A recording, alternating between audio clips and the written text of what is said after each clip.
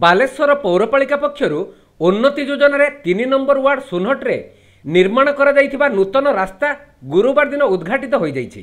ରମାକାନ୍ତ ଦାସଙ୍କ ଘରଠାରୁ ହନୁମାନ ମନ୍ଦିର ପର୍ଯ୍ୟନ୍ତ ପାଞ୍ଚ ଲକ୍ଷ ଉଣେଇଶ ହଜାର ଟଙ୍କା ବ୍ୟୟରେ ନିର୍ମିତ ନୂତନ ରାସ୍ତାକୁ ସଦର ବିଧାୟକ ଜୀବନ ପ୍ରଦୀପ ଦାସ ଏବଂ ପୌରପାଳ ଆଲୋକ କୁମାର ସାହୁ ମିଳିତ ଭାବେ ଉଦ୍ଘାଟନ କରିଥିଲେ। ଦୀର୍ଘ ଦିନ ହେବ ଏହି ଅଞ୍ଚଳକୁ ରାସ୍ତା ପାଇଁ ସ୍ଥାନୀୟ ବାସିନ୍ଦାଙ୍କ ପକ୍ଷରୁ ଦାବି ହୋଇ ଆସୁଥିଲା।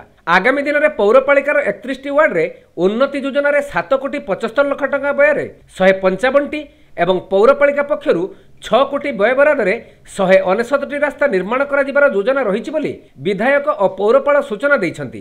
ବିଜେଡି ଟାଉନ ପର୍ଯ୍ୟବେକ୍ଷକ ଅଜୟ କୁମାର ନାୟକ କାଉନସିଲର ଚନ୍ଦ୍ରଶେଖର ପାତ୍ର ଧୀରେନ ନାୟକଙ୍କ ସମେତ ସ୍ଥାନୀୟ ବାସିନ୍ଦାମାନେ ଏହି ଉଦ୍ଘାଟନୀ ଉତ୍ସବରେ ଯୋଗ ଦେଇଥିଲେ।